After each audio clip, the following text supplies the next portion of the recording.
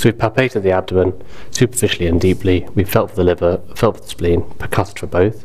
At this point, you want to ballot the kidneys, feel for any polycystic kidney disease, and also feel for any renal angle tenderness. And then feel for an abdominal aortic aneurysm. So I can feel the aorta, but it's not aneurysmal.